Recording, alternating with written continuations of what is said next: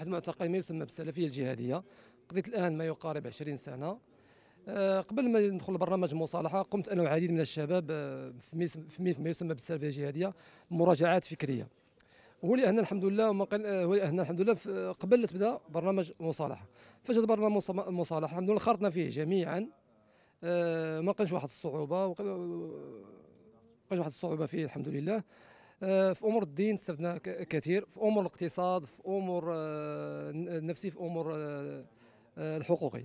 وكانت تجربة الحمد لله ثلاث أشهر كانت آه، كل تقريبا آه، تلي تنبقاو بعض المرات.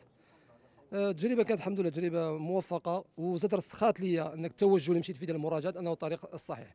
وهذا الحمد لله ماشي خطأ إنسان آه، أنه دار آه، قال قال الفكر ديالو خاطئ وعاود صلحه هذا ماشي عيب في الإنسان. الحمد لله أي واحد فينا يقدر يخطأ ويراجع نفسه فهذا هو فهذا هو الأفضل. واللي عاود ساعدني بزاف كذلك في في المراجعات أو أنني الحمد لله في فضاء السجني استغليته.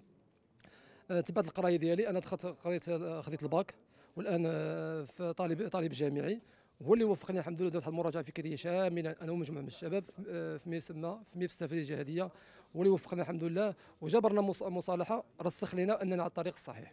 آه، بالنسبة لبرنامج المصالحة آه، الحمد لله ملي شاركنا فيه تعرفنا على بزاف المسائل خاصة الدينية اللي ما كناش كنعرفوها وقدرنا نكشفوا بزاف بزاف ديال الشبهات اللي كانت عندنا قبل ما نشاركوا في هذا البرنامج وبرنامج خلال هاد الثلاثة أشهر يعني كان كله يعني علم. قدرنا نطرحوا الأسئلة اللي كانت كد كنا ما يعني عندنا بعض الشبهات فيها. والحمد لله الأساتذة الكرام تقدموا يعني مشكورا أنهم جاوبونا جميع ديك الأسئلة اللي كانت في راسنا وبينوا لنا الطريق وتبين الحمد لله الخيط الأبيض من الأسود. وطبيعة الحال حنا ندمانين على داكشي اللي يعني مرينا به وديك التجربة اللي كانت قبل اعتقالنا في السجن كنا كنعتقدوا بعض الاشياء يعني خاطئة. الحمد لله دابا كانت واحد المراجعة عميقة. واكتشفنا أننا يعني كنا على على ضلال. والحمد لله دابا الحمد لله يجازيهم بخير هاد الناس وأن الدولة مدت يديها وعطاتنا هاد الفرصة هذه برنامج مصالحة باش حنا نتمكنوا كمواطنين نقدروا أننا حتى حنا ندمجوا مع المجتمع بشكل صحيح بطريقة صحيحة.